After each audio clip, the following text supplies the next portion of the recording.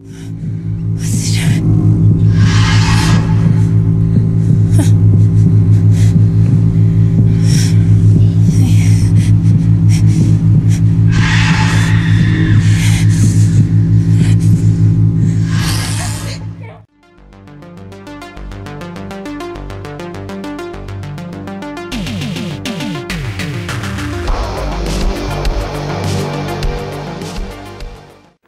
are talking about the movie Dead Sunrise, an Australian zombie movie directed and co-written by Michael Imielski. And um, this one tells the story of a group of friends who are getting together for a night out in the woods, camping, drinking, shenanigans, all of that sort of thing. And uh, while they're out camping in the evening, they are approached the camp is approached by this kind of young boy who seems to be in some type of uh, kind of gaze, kind of state, doesn't doesn't quite really know what's kind of going on, and they're obviously uh, suitably concerned and kind of taking him take him in.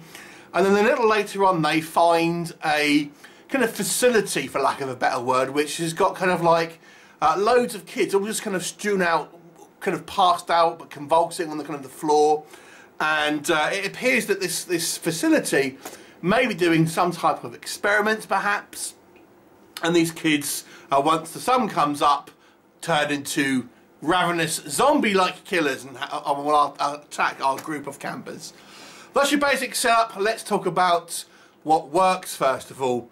Uh, the, the, the the big thing I would say for me, I, I enjoyed about this movie is our, is our is our kind of our main zombie kid who is the one that approaches the camp. I thought he was excellent because he, he has that kind of like that cute kind of moppet hair, but really does seem uh, genuinely. When, when, he kind of when he first introduced, he seemed like he's ill, and, and he does such a good job of kind of giving you this kind of performance where you think he look, he's like ill, and then when he is turning into the kind of the more the killer side of it, again he seems legitimately sinister. So this little lad uh, I thought did an excellent job here of, of doing a, uh, you know a great kind of job going through the kind of the gambit of uh, different emotions that the kind of the, uh, the, the movie kind of wants us to go through. And to be fair, uh, I think all of the kind of the um, the kids do a pretty good job in regards to their their kind of respective roles, albeit they they obviously don't don't have quite as much kind of screen time as our kind of our, our main one, if you like. I gotta say I quite like the kind of the um, uh, our kind of cast of characters in regard to the adults. Um, you, you don't get the kind of the typical so much the typical kind of archetypal roles that you'll kind of get in a lot of horror films. Maybe this is because this is an Australian movie. Um, you know, it's kind of just seems to be that they are more or less a kind of group of peers rather than having the kind of the stereotypical jock and role, the nerdy role, the stoner role, that sort of thing. They just more more or less kind of seem like you know your your, your average kind of Joes here and there. And I like I say, the, the, the, the, fact that these zombies are, are a little different maybe, there's kind of an intriguing twist here that they're affected by kind of sunlight. Um, and they almost act a little bit like kind of vampires, more so than zombies to a degree. So it's kind of an origin, original take. And they, they haven't gone overboard with the makeup here. I, I, always, it bothers me sometimes when you have zombie films where someone just gets turned and they immediately start having kind of like skeletal makeup and it's just like that will take a while for that to happen. Although there are, there are some kind of, there are makeup involved here, I think it's done well to kind of, to make the kind of the, um, the kind of the zombie characters seem like they have recently turned, but they kind of still look like they are affected. So the makeup effect is subtle but effective here. Um, what doesn't work for me? Oof, okay, there's one huge factor with this movie that which is appalling, and it's not something I'd often pull a, uh, a film apart for, and it's the music. The music choices here are terrible. Now, you might say it's a matter of taste because there are certain scenes here that have like very hard kind of death metal scenes. But we're just talking about these, this kind of music playing when people are going camping. It does not make sense with the scene and it is massively distracting. But that's not the only thing. Is that they play like this kind of classical kind of comedy. They kind of like this this classical music that you always hear in comedies and stuff like that. The music choices here are awful, particularly distracting. They do not enhance the scenes and actually kind of like are very distracting and take your you know your your kind of your attention off it. Now the director may they'll be a death metal fan, and that's all that's all good and dandy. But you know, you need to use the music that enhances your film, not kind of just because you like it. And I got a feeling that's probably what has happened here.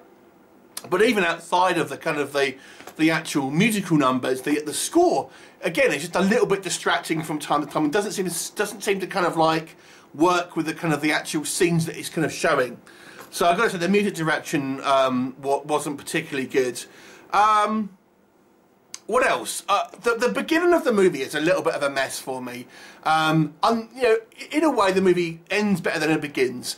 The first act of this film is just a jumbled mess, and I think it, it feels like the director is trying to kind of stretch his artistic muscles a little bit, but it just becomes a, a, a little bit of a convoluted and kind of like um, experimental mess. To be honest with you, you kind of you never really kind of feel like you are uh, getting to know the personalities of, of the kind of the our main kind of group of people, and they just seem to kind of like change a, a kind of a drop of a hat anyway. That's the kind of the film goes on.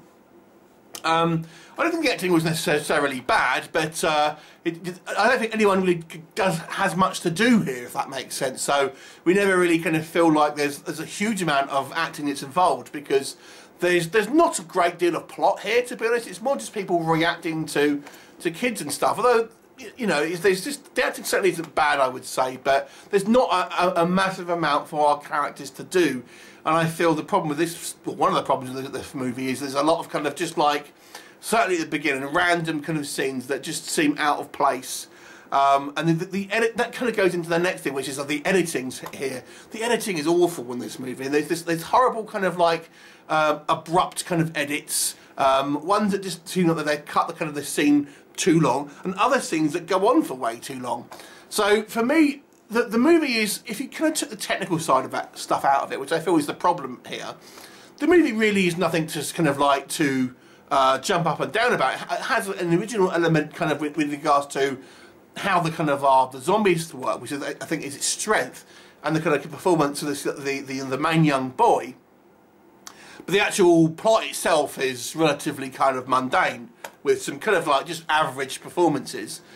But the movie is really hampered by some very poor technical kind of side of things, poor editing, quite frankly, poor direction, and horrible, horrible sound design. And as such, I'm going to give this one a below average rating. So this one's got a 4 out of 10 for me. Have you seen it? What did you think of it? Leave me a comment and I'll look forward to seeing you next time. Bye for now.